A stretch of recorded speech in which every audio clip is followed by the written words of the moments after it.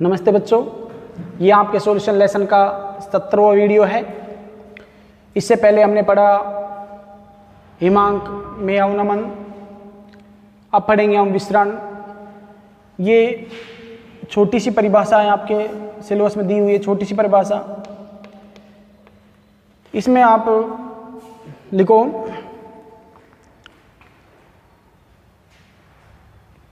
वह प्रक्रिया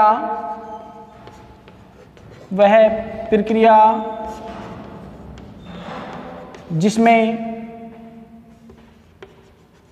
उच्च सांद्रता, वह प्रक्रिया जिसमें उच्च सांद्रता वाले क्षेत्र से उच्च सांद्रता वाले क्षेत्र से निम्न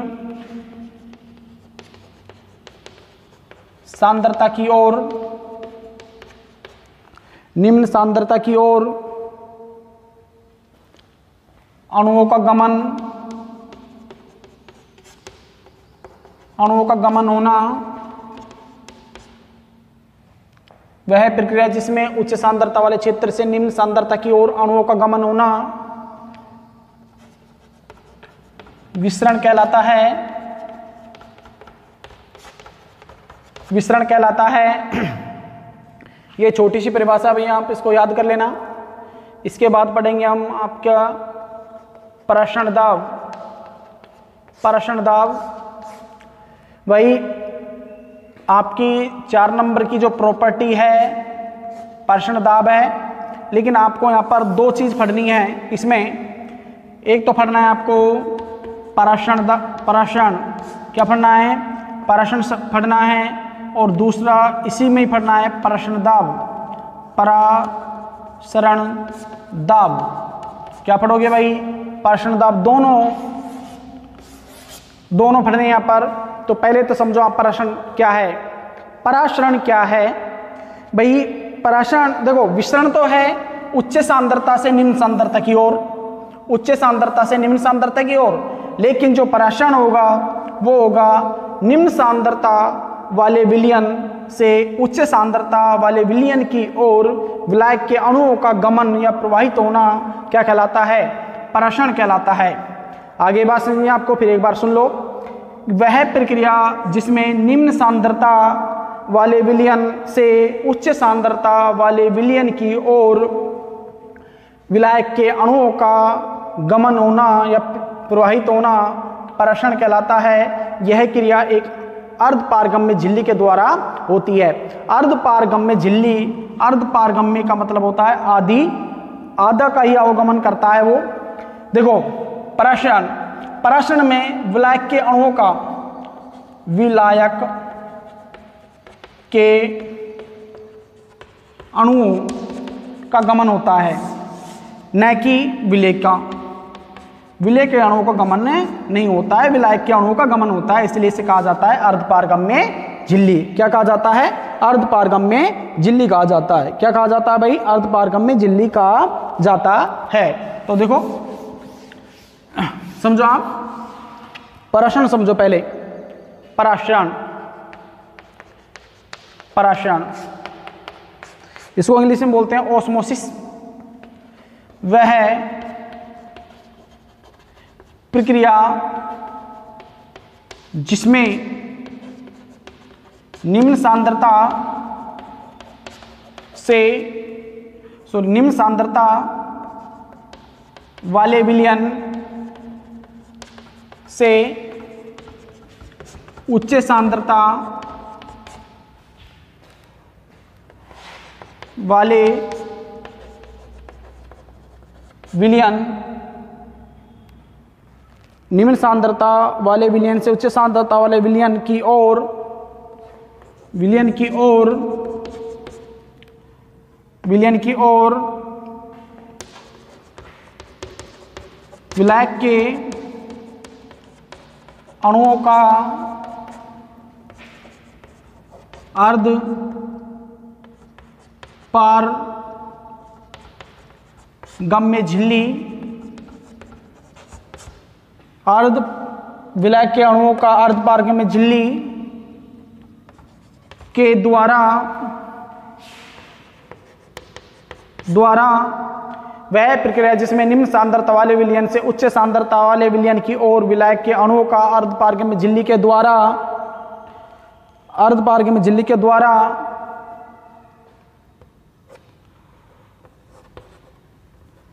प्रवाहित होना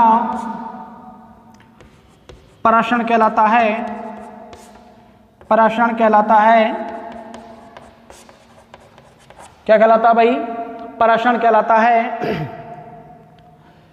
देखो, पराशण और पराशण दाब दोनों अलग अलग हैं भाई, है ना? तो पहले आप पराशण पढ़ लो।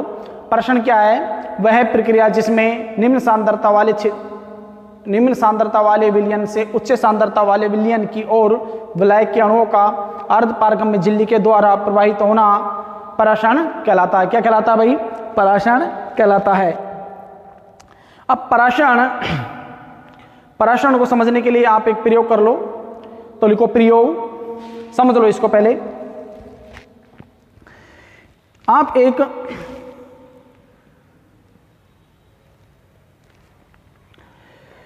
द्रोणी का लो। चलो इसको मिटा लो एक बार।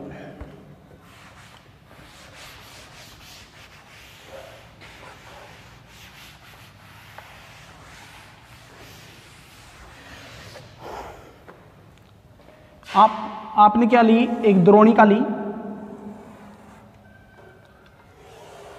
इस द्रोणिका में आप नीचे इसमें अर्ध पार्क में झील लगा दो इसमें। और इसे आपने एक जल से भरे पात्र में रख दिया। इस द्रोणिका में आपने भर दिया सरकरा का विलियन। क्या भरा भाई? सरकरा का विलियन भर दिया। सरकरा का विलियन भर दिया इसमें आपने। क्या भर दिया भाई? सरकरा का विलियन। देखो, और इस दुरणिका को आपने जल से भरे पात्र में रख दिया। किसमें रख दिया? जल से भरे पात्र में रख दिया। ये जो जल है, ये यहाँ पर विलायक है। और इस द्रोणिका में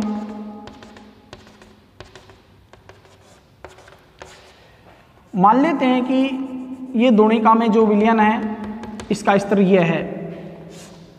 इसको लिख दो, स्तर फ़र्स्ट। इसमें भरा है आपका सरकरा का विलियन सरकरा विलियन सरकरा का विलियन कुछ समय बाद आप देखते हो, देखते हैं कि ये जो जल है, ये विलायक के अणु यानी जल के अणु, इस अर्धपार्क में झिल्ली के द्वारा इसमें प्रवेश कर जाते हैं। तो इसका स्तर है, ये द्रोणिका का स्तर या विलियन का स्तर ऊपर चढ़ने लग जाता है। इसको दे दो स्तर सेकंड ठीक है भाई? तो अब आप आपको समझ आ गया होगा।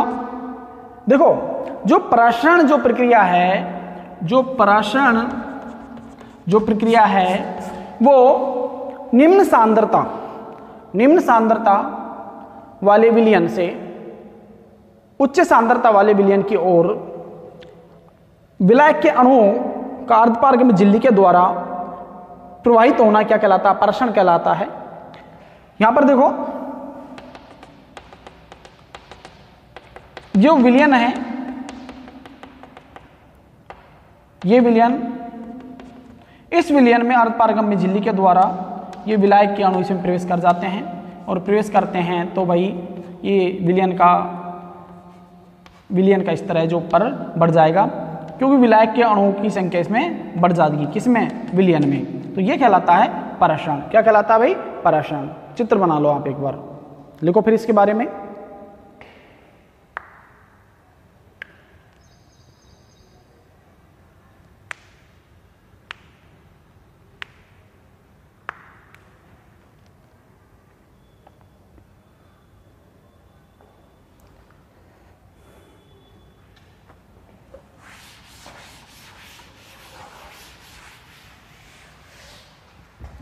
पराशण दाब।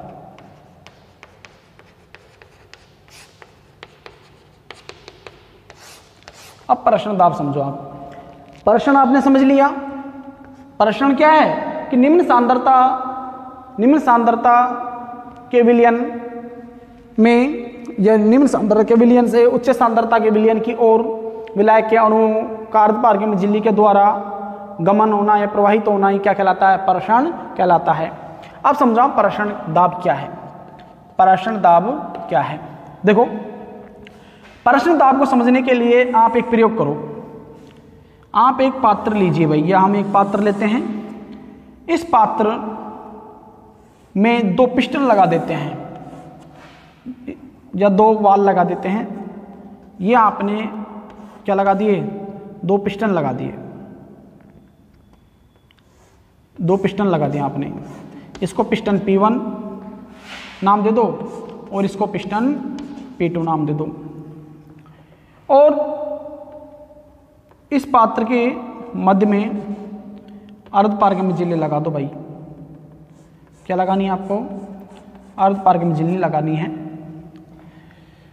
अब इस पात्र के दो भाग बन गए। इसको ए नाम दे दो और इसको बी नाम दे दो। ए में ए जो भाग है पात्र का, इसमें आप विलायक भर दो, यानी जल भर दो आप। विलायक। और पात्र बी में, और पात्र बी में आप विलियन भर दो। क्या भरना है आपको? विलियन ठीक है भाई। अब धीरे धीरे क्या होता है कि धीरे धीरे विलायक के अणु अर्धपारगम्य झिल्ली के द्वारा विलियन में प्रवेश कर जाते हैं। विलियन में प्रवेश प्रवेश करेंगे तो ये जो पिस्टन है, ये ऊपर की ओर खिसकने लग जाता है। ये पिस्टन ऊपर की ओर खिसकने लग जाता है। और ये पिस्टन बी है, ये पिस्टन P1 ये नीचे की तरफ़ आने लग जाता है। ठीक है भाई? अब क्या होता है कि विलायक के अणुओं का विलियन में प्रवेश को रोकने के लिए एक भाई बल लगाया जाता है। इस पिस्टन पर बाहर से एक बल लगा दिया जाता है। जब यहाँ से आप बल लगाओगे तो ये पिस्टन रुक जाएगा और पिस्टन रुकेगा जैसे आपने यहाँ से बाहर से बल लगाया तो इसमें विलायक के अणु प्रवेश करना बंद कर देते हैं। क्या कर देते हैं? बंद कर देते हैं। तो अब आपको समझ आ गया होगा क्या कहना चाहता हूँ मैं। मैं ये कह रहा हूँ कि आपने यहाँ पर बल लगाया, बाहर से एक बल लगाया, और ये बल लगते ही क्या होता है कि विलायक के अणु इसमें प्रवेश करना बंद कर देते हैं। तो सीधी सी बात है कि पराशण क्रिया के विरुद्ध लगाया गया दाब या बल क्या कहलाता है? पराशण दाब कहलाता है। क्या कहलाता है भाई? पराशण दाब कहलाता है। एक बार फिर सुन लो। पराशण क्रिया के विरुद्ध या प्रतिक्रिया पराशण क्रिया को रोकने के लिए बाहर से लगाया गया भाई बल या भाई बल क्या कहलाता है? परशन दाब कहलाता है। या परशन क्रिया के विरुद्ध लगाया गया दाब या बल क्या कहलाता है? परशन दाब कहलाता है। आगे बात समझ में आपको? समझ आ गई भाई आपको? एक बार फिर से समझ लो आप। हम एक पात्र लेते हैं। इस पात्र में, इस पात्र में पिस्टन P1 और P2 लगा देते हैं। पात्र के मध्य में अर्धपार्ग में झिल्ली लगा दी जाती है। अर्धपार्ग में झिल्ली लगाने पर, लगाने के बाद इसके भाग, दो भाग हो जाते हैं, पात्र बी और पात्र ए ए भाग में विलायक भर दिया जाता है और विलाय और बी भाग में विलयन भरा होता है। अर्धपार्ग में झिल्ली के द्वारा विलायक के अणु अर्धपार्ग में झिल्ली के द्वारा विलायक के अणु विलियन में प्रवेश करने लग जाते हैं। प्रवेश, विलियन में प्रवेश करते हैं तो विलियन विलियन की मात्रा बढ़ेगी।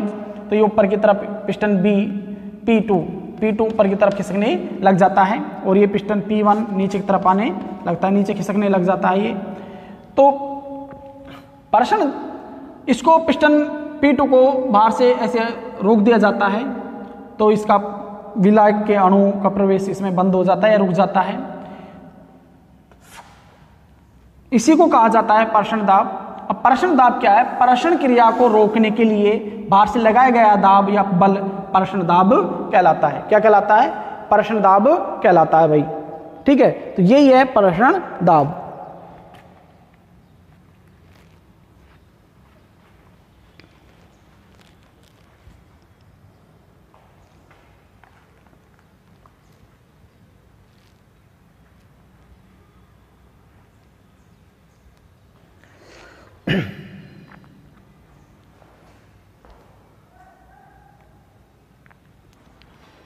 अब समझो इसको, लिख लो एक बार।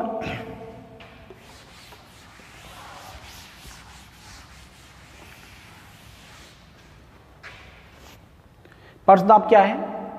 वह वह बल, जो, वह भाई बल, जो या दाब जो जो उसमें अर्ध पारगम्य झिल्ली, जो उसमें अर्ध पारगम्य झिल्ली से विलायक के, जो वह बाइबल जो उसमें अर्ध पारगम्य झिल्ली से विलायक के अणु के प्रवाह को अणुओं के प्रवाह को, अणुओं के प्रवाह को रोकने के लिए, रोकने के लिए, रोकने के लिए आवश्यक होता है। आवश्यक होता है।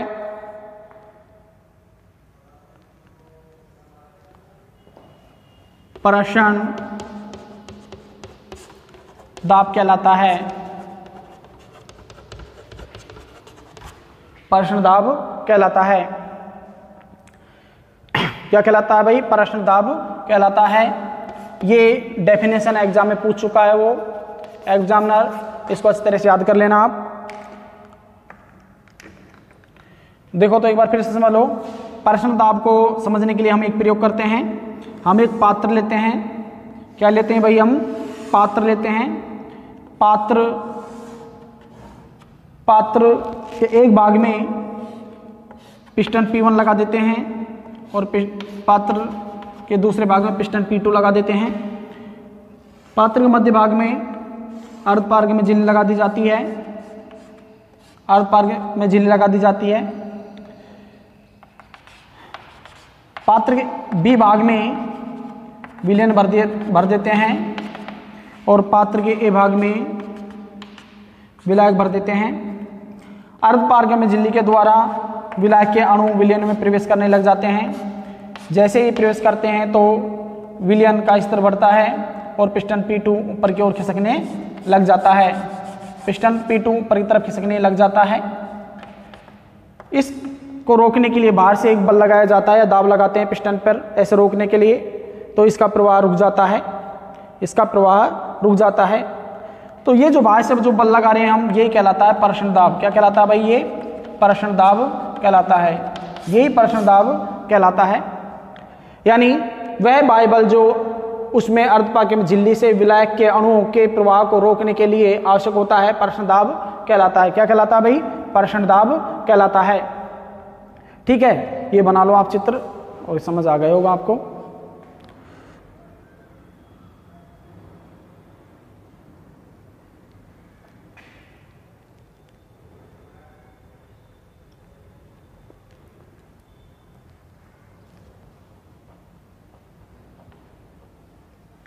वैसे आप इस प्रयोग को लिखना चाहते हैं ना तो मैं लिख ही देता हूँ।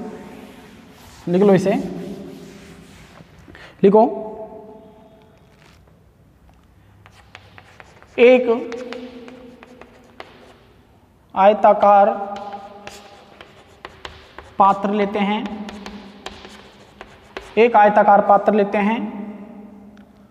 एक आयताकार पात्र लेते हैं। पात्र पात्र पात्र, अर्ध पार्ग में झिल्ली के द्वारा दो भागों में बटा होता है, बटा होता है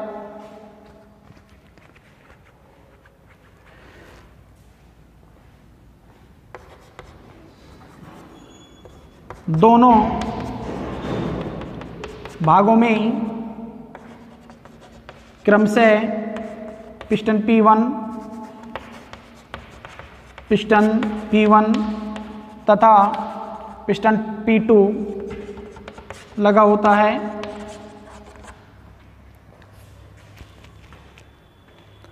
लगा होता है। पात्र के ए भाग में विलायक तथा बी भाग में विलियन भरे होते हैं। विलियन भरे होते हैं।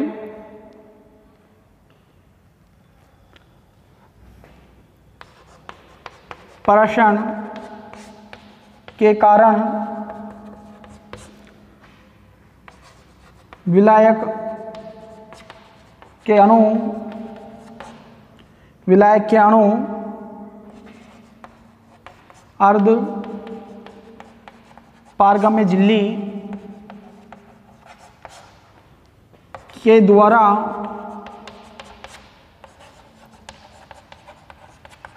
विलियन में प्रवेश करने लगते हैं। प्रवेश करने लगते हैं। जिससे पिस्टन P2 ऊपर की ओर जाने लगता है और पिस्टन P1 नीचे की ओर आने लगता है। नीचे की ओर आने लगता है।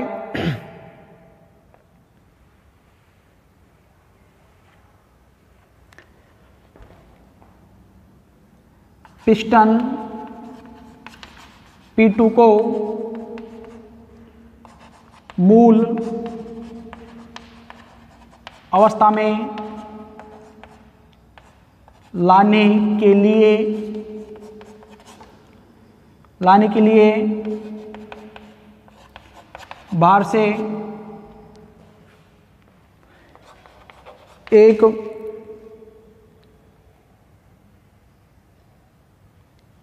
से एक बल लगाते हैं। बल लगाते हैं।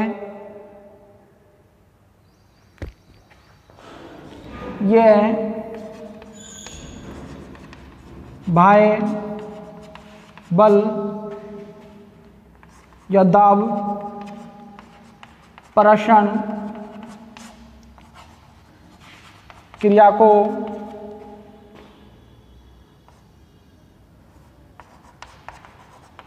रोकने के लिए आवश्यक होता है।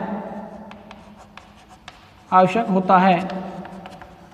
अब आपको समझ आ गया होगा भाई, ये प्रश्न दाब क्या है? ये प्रश्न दाब वही दाब है जो विलायक के अणुओं के प्रवेश को रोकता है। यानी वह बल, वह बाह्य बल जो उसमें अर्धपार्ग में झिल्ली से विलायक के अणुओं के प्रवाह को रोकने के लिए आवश्यक होता है। पराषण दाब कहलाता है। इसकी सीधी सी बात से आप ऐसे बोल सकते हो कि पराषण क्रिया के विरुद्ध लगा गया दाब पराषण दाब कहलाता है। पराषण दाब पराषण क्रिया को रोकने के लिए आवश्यक है। जब तक ये बाहर से कोई बल नहीं लगाया जाएगा तो पराषण क्रिया नहीं रुकेगी, ये कंटिन्यू होती रहेगी। आ गई बात समझ में आपको। ठीक है, उतारो इसे।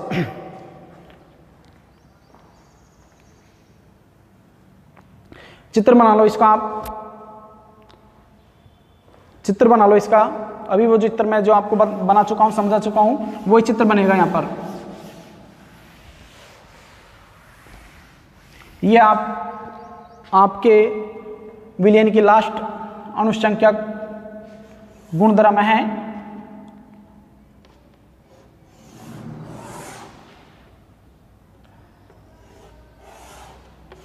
हम एक आयताकार पात्र लेते हैं। पात्र अर्धपार्ग पात्र के अर्धपार्ग में झिल्ली के द्वारा दो भाग हो जाते हैं। एक भाग में पिस्टन P1 और दूसरे भाग में पिस्टन P2 लगा देते हैं। भाग ए में विलायक तथा भाग बी में विलियन भरे होते हैं। विलियन भरे होते हैं। अर्धपार्गम में झिल्ली के द्वारा विलायक के अणु विलियन में प्रवेश करने लग जाते हैं, जिससे पिस्टन P2 ऊपर की ओर जाने लगता है और पिस्टन P1 नीचे की ओर आने लगता है। पिस्टन P2 को अपनी मूल अवस्था में लाने के लिए या परषण क्रिया को रोकने के लिए बाहर से बाहर से एक बल लगाया जाता है, जिसे पर्षण दाब कहते हैं। तो परषण दाब क्या हुआ भाई? यानी परषण क्रिया के विरुद्ध लगाया गया दाब ही परषण दाब है। जब तक बाहर से बल प्रयुक्त नहीं किया जाएगा तो परषण क्रिया नहीं रुकेगी। यानी परषण क्रिया को रोकने के लिए जो बल लगाया जाता है, उसे क्या कहा जाता है? परषण दाब कहा जाता है। आगे बात समझ में आपको। ठीक है? उतारो इसको आप।